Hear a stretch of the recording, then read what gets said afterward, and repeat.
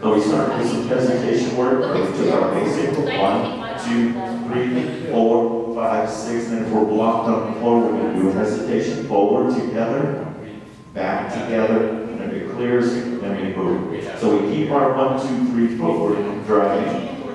One, two, three, four, five, six. One, two, three, four, five, six. Then we cl- then we move out. If move out, we can put a quarter turn there, where we do one, two, three, four, five, six, forward. And then we do a quarter turn left on the back, up to a quarter turn Somebody showed me. back, okay? And then we started working on the promenade, where we did our basic. One, two, three, four, five, six, and then on the promenade, the gentleman dances forward, diagonal, and forward. Gentleman rotates to the right to send the lady here, okay? Yeah, thanks for your help, yeah, you can do it also.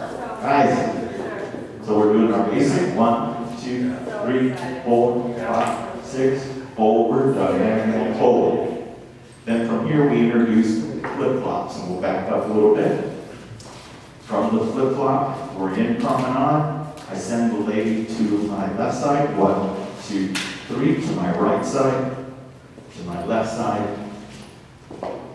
Just introduced that today, okay? So, one more time, from the basic, one, two, three, four, five, six, promenade, to the left, to the right, we'll do an inside turn, and out, two, three, okay?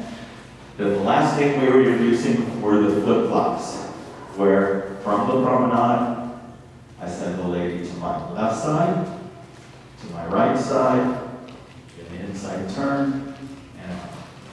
Okay? Very good.